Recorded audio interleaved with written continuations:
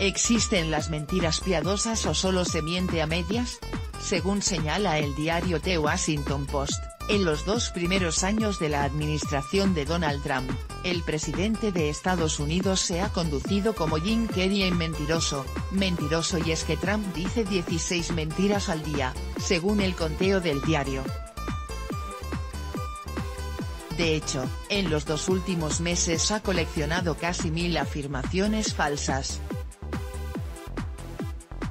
Su talón de Aquiles, son temas de economía, inmigración y la presunta injerencia rusa en las elecciones de 2016, después, su silencio en el caso de la separación de las inmigrantes, el que fue expuesto por terceras personas y no por la Casa Blanca, de acuerdo con los datos del periódico capitalino estadounidense, este fenómeno ha ido en aumento, mientras que en los primeros meses de su administración llegaba a decir o tuitear 4.6 veces al día, menos de 18 meses, la cifra de mentiras se ha cuadriplicado.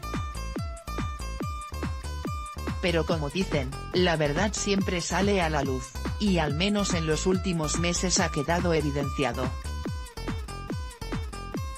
Primero, al empecinarse al negarla, codo a codo con Vladimir Putin, sabiendo que los servicios de inteligencia del país, aseguraran desde hace meses lo contrario, pero quizá las inexactitudes se basen dependiendo de su humor diario, un día se despierta declarando la guerra y al día siguiente les da un abrazo fraternal, tal ha sido el caso del presidente de Corea del Norte, el acuerdo nuclear con Irán, y la cuenta se extiende,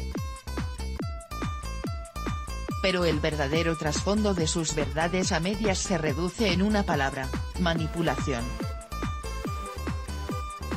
El Washington Post, especifica que en los últimos cinco meses, el presidente Trump, ha afirmado 30 veces que se está construyendo el muro, sin embargo, el Congreso aún no ha aprobado el presupuesto, en el caso de la inmigración, además de la erradicada política de separación, el mandatario suele engañar a la hora de hablar sobre el muro que prometió construir en la frontera con México. Sin embargo, el Congreso ha negado los fondos para ello.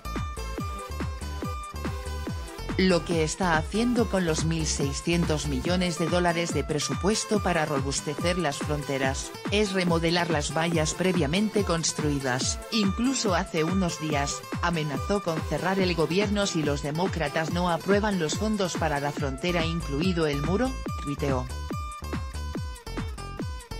Además también miente en temas de empleo y comercio exterior, en junio y julio sostuvo más de 20 veces que Estados Unidos perdió dinero en los déficits comerciales, sin embargo, actualmente los niveles estadounidenses están escalando. Dicen que lo que no has de querer, en tu casa lo has de tener y Donald Trump, el principal pseudo enemigo de las fake news, jugó su juego. Por supuesto, una buena parte de los ciudadanos estadounidenses han dejado de creer en su presidente. Según la portavoz de la Casa Blanca, Sarah Sanders, el 90% de la cobertura mediática sobre el presidente es negativa,